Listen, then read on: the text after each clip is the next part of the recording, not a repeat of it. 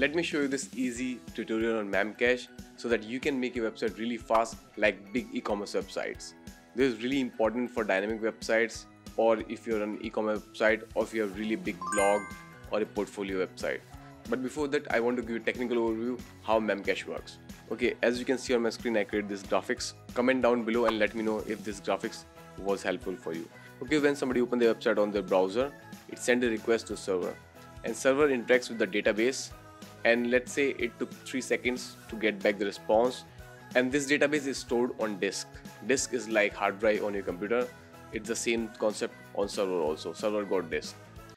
And now let's see what happens when you use database caching. So when you use database caching, the small cache of the database is stored on the server or you can say stored on the disk of the server. And this cache contains the common data requested frequently by users. For example, list of blog posts, list of prices, list of shipping charges. It can be a lot of different dynamic data.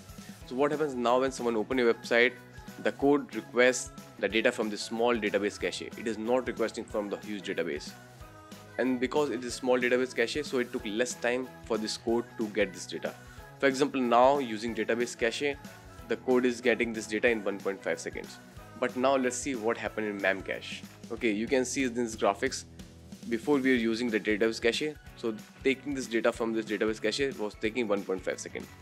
but when we take copy of this small database cache we store this cache on ram here this database is on disk or ssd or hard drive of a server with help of the memcache, we store this small database cache on RAM. Yes, server also got RAM. It is same like our computer. It got RAM, it got hard drive, but different kind of specification and different operating system. And if you don't know, RAM is the fastest memory. And when the code fetches the data from the RAM, because it is a fast memory, it took 0.3 seconds. So this is how you can make your website really fast if you can use the memcache. Okay, now let's see how to know if Memcache is enabled on your server or not and then I'll show you how you can enable it on your server. In order to know if Memcache is enabled on your server, you can install a popular plugin like LiteSpeed Cache or W3 Total Cache. If using LiteSpeed Cache, go to Object Cache and you will see here status. You can see Memcache extension enabled or you can install W3 Total Cache to know this thing.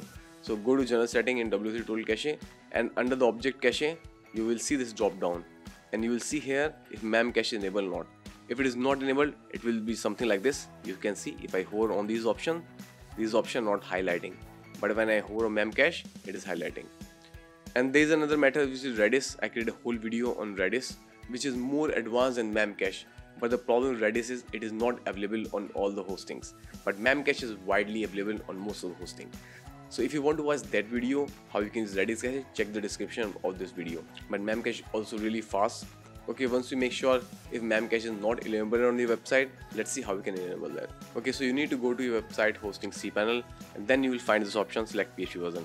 Or if you have some other kind of panel, you can find PHP modules or PHP packages and then click on this one and then you will see this kind of page where you can see all the extension enabled on your server.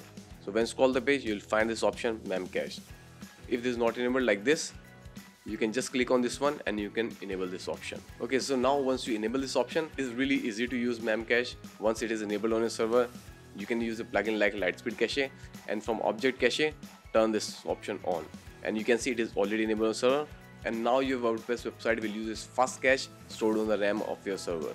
Using W3 Total Cache plugin, go to Object Cache and then from this drop down, choose memcache and then save setting and purge cache and that's it now your wordpress website is ready to serve dynamic content with very fast speed.